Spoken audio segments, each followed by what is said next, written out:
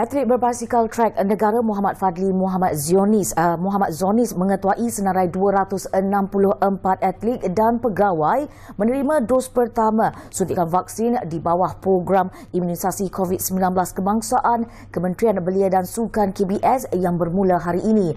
Beliau diikuti rakan sepasukannya Anis Amira Rosidi sebagai atlet wanita pertama manakala atlet memanah para Esurich menjadi atlet para pertama menerima suntikan vaksin itu di Pusat Pemberian Vaksin PPV Dewan Kompleks Sukan Desa Tasik Ceras di Ibu Negara. Uh, Alhamdulillah dapat kena vaksin dengan atas uh, kerajaan punya inisiatif kan. Yeah. So, jadi orang pertama tu tak expect lah sebab kita orang first kita diberitahu first come first serve. So, kita orang jauh dari nilai kan. So, macam nak balik awal petang training.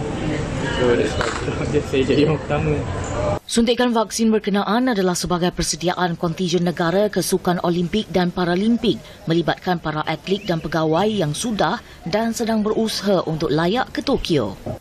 Kesemua atlet dalam senarai akan menerima vaksin Pfizer-BioNTech. Turut akan menerima suntikan hari ini Menteri Belia dan Sukan Datuk Rizal Marikan Naina Marikan, Presiden Majlis Olimpik Malaysia MOM Tan Sri Muhammad Nur Zakaria dan Presiden Majlis Paralimpik Malaysia MPM Datuk Sri Megat Di Chariman Zaharuddin. Temasya Sukan Olimpik akan berlangsung bermula 23 Julai hingga 8 Ogos. Manakala Paralimpik dijadualkan bermula 24 Ogos hingga 5 September depan.